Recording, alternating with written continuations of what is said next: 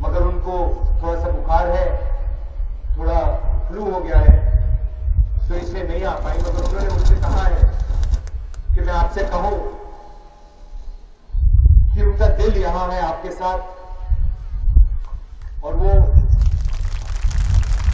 इस लड़ाई में, इस लड़ाई में सीपीएम के खिलाफ लड़ाई में आपके साथ खड़ी हुई है। कल मैं यहाँ आया त्रिपुरा। और दो तीन लोगों से मैंने बात की। दो तीन लोगों से मैंने बात की, उनसे पूछा, भैया, क्या लगता है आपको त्रिपुरा में कमी क्या है? किस चीज़ को आप बदलना चाहते थे और उन्होंने मुझसे कहा कि, देखिए, त्रिपुरा में अगर आप कुछ भी चाहते हो तो आपको सीपीएम के संगठन के पास जाना पड़ता है सीपीएम के लोगों के पास जाना पड़ता है ये हवा है ना ये हवा लगेगी भाई ये प्रॉब्लम ऐसे करते हैं तो मैंने उनसे पूछा हाँ ठीक हो गया हो गया तो मैंने उनसे पूछा भैया क्या कमी है और उन्होंने कहा जो भी आप काम कराना चाहते हो आपको सीपीएम के संगठन से कराना पड़ता है सड़क बनती है तो सीपीएम के कॉन्ट्रैक्टर टीचर की टीचर की नौकरी लगती है तो सीपीएम का वर्कर और अगर आप सीपीएम के किसी वर्कर के रिश्तेदार नहीं हो या उसके दोस्त नहीं हो तो त्रिपुरा में आपका काम नहीं हो सकता।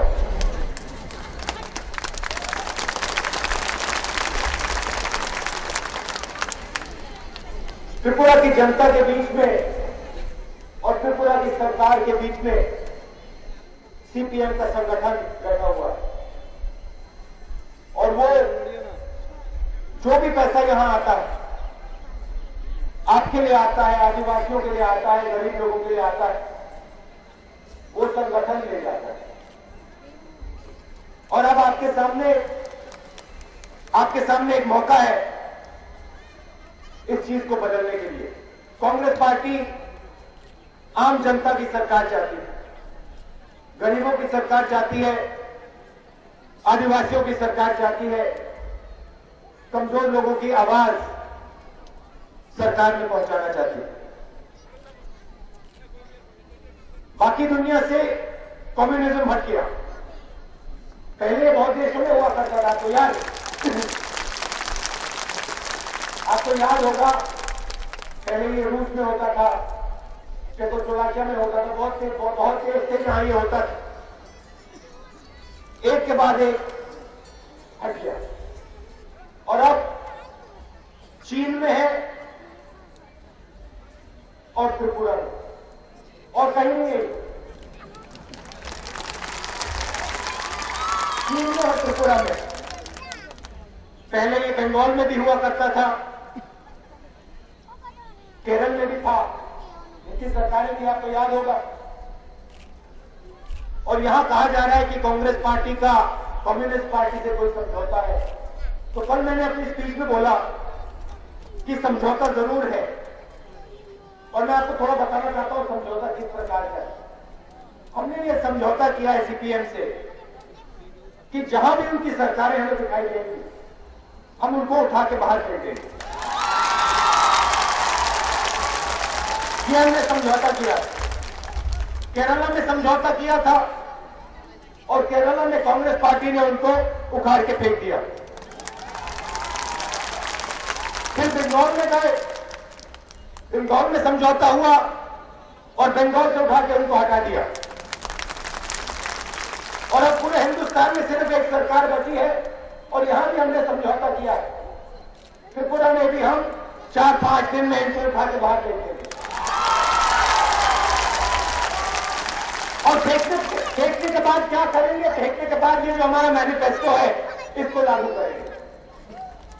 और इस मैनिफेस्टो में मैं आपको थोड़ा बताना चाहता हूँ क्या क्या है। और दिल्ली में हम क्या करते हैं?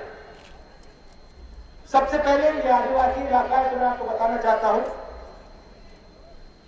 कि दिल्ली में हमने ट्राइबल बिल पास किया।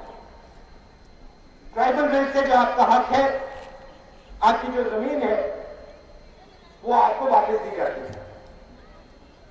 क्योंकि हम चाहते हैं कि सब लोगों को सरकार का फ़ायदा हो। और जो आपका हक, जो आपका हक है, जो आपका इतिहास है, उसको हम त्रिपुरा में भी, उसको लेकर आगे बढ़ना चाहते हैं। और आपका जो हक है, आपको देना चाहते हैं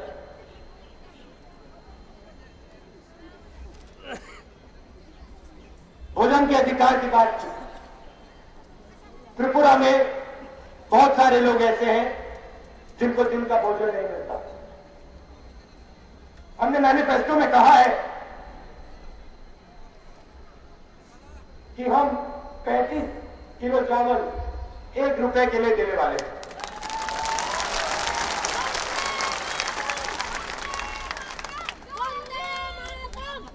और जो बेरोजगारी है कम्युनिस्ट पार्टी कहती है, हम गरीबों की पार्टी है, हम वर्कर की पार्टी है।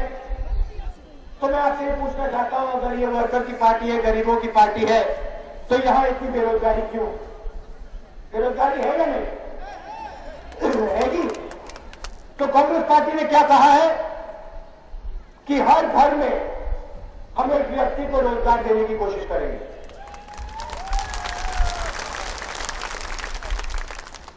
और जो ओवर एज युवा है, उनको भी रोज़गार देने की कोशिश करेंगे। और बेरोजगारी बेरोजगारी भत्ता ये हम देंगे। हिंदुस्तान में हमने मनरेगा चालू किया। और मनरेगा से आम आदमी को, गरीब को फ़ायदा होता है।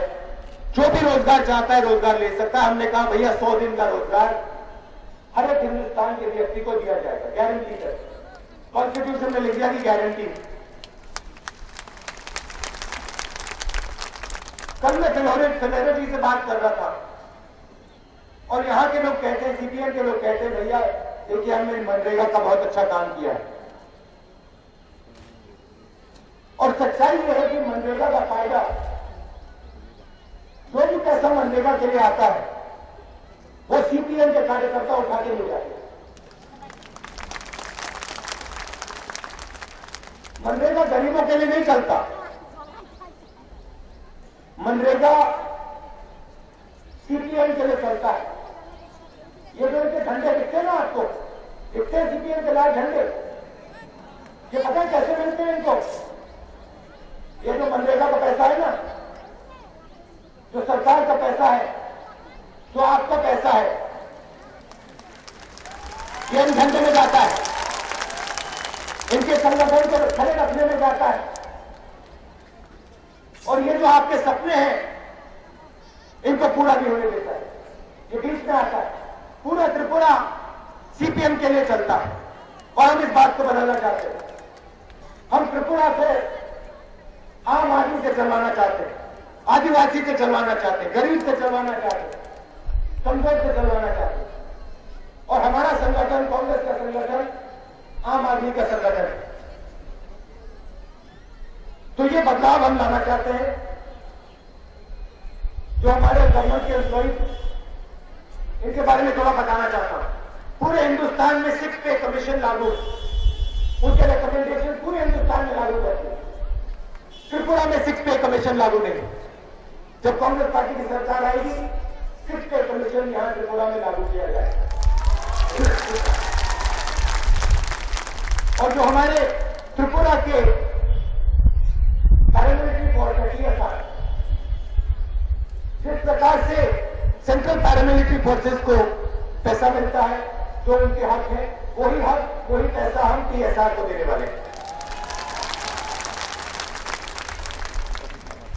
तो मैं आपसे ये विनती करना चाहता हूँ कि ये जो बीच में संगठन है, आपके और सरकार के बीच में, जो मिडिल मैन है, इसको आप निकालिए अब आप अपनी सरकार बनाइए, गरीबों की सरकार बनाइए, और आपकी जो लड़ाई है, उसको सरकार के माध्यम से लड़िए।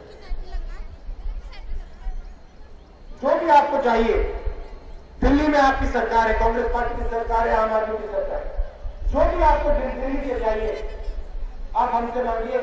सोनिया जी वहाँ है प्राइम मिनिस्टर जी मनमोहन सिंह वहाँ है, मैं वहाँ हूँ और आपकी आवाज़ दिल्ली में पहुँचाने का काम हम करेंगे।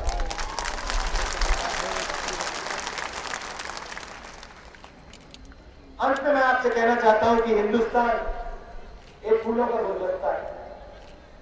इसमें बहुत सारे फूल हैं। त्रिपुरा एक फूल है, बाकी प्रदेश फूल है। कभी कभी आपको लगता होगा कि भाई त्रिपुरा इतना दूर है छोटा सा प्रदेश। और हिंदुस्तान इतना बड़ा है। मगर मैं आपको ये बताना चाहता हूँ, हिंदुस्तान में सब फूल ज़रूरी है।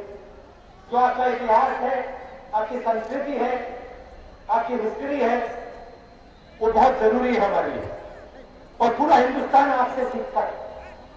जब आपके लोग जाते हैं बाकी हिंदुस्तान में जाते हैं, सफलता प्राप्त करते हैं, हमें खुशी होती है। मुझे खुशी होती है कि आपके युवा युवा आगे बढ़ रहे और पूरे हिंदुस्तान को आप दिखाते हैं।